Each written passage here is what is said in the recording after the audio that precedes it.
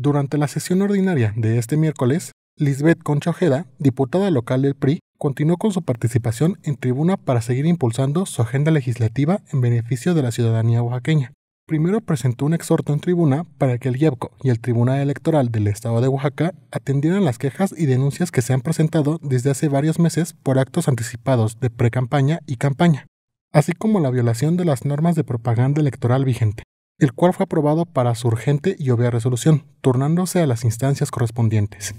Posteriormente, Concha Ojeda dijo sentirse orgullosa, ya que como integrante de la Comisión de Grupos en Situación de Vulnerabilidad, se logró la aprobación por parte del Pleno en sesión extraordinaria de la Ley de Derechos de Niñas, Niños y Adolescentes para el Estado de Oaxaca, con lo cual se dará un marco jurídico adecuado para la cobertura de las necesidades y derechos humanos de la niñez y adolescencia de Oaxaca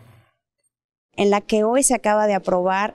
la nueva ley de niñas, niños y adolescentes para el estado de Oaxaca, es darle un marco jurídico adecuado, actual, eh, que pueda eh, darle cobertura a las necesidades en derechos humanos de las niñas, niños y adolescentes. Y fue un trabajo de muchos meses integrado por expertos, pero también con las instituciones y por varias propuestas de compañeras y compañeros diputados. En cuanto a la Comisión de Salud, a la que también pertenece dentro del Congreso, informó que se aprobó la Ley de Prevención, Control y Tratamiento de Adicciones,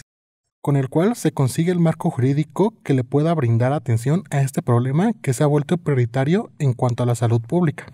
En la Comisión de Salud, que también integro, Hoy quedó aprobada una ley de prevención, control y tratamiento de adicciones. También se hicieron varios foros de la cual pues también fui partícipe. Hoy podemos tener un marco jurídico que le dé atención a este problema que se ha vuelto un problema de salud pública. Finalmente, la legisladora resaltó que este 20 de septiembre se aprobó por el Pleno una iniciativa propia relativa a la atención del cáncer infantil, donde se planea la armonización de la ley local con la Ley Federal de Salud. Con esto se reconocerá el cuidado y promoción de la salud de los menores de 18 años, particularmente en la prevención y detención oportuna del cáncer en niñas, niños y adolescentes una iniciativa propia eh, que es el tema del cáncer infantil. Hoy estamos dándole eh,